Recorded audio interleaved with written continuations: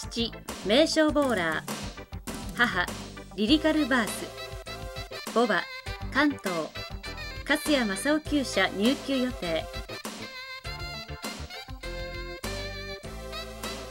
大きな友。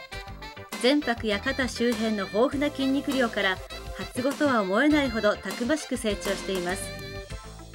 特にがっしり横に張り出した友にはパワーがぎっしり詰まっている印象。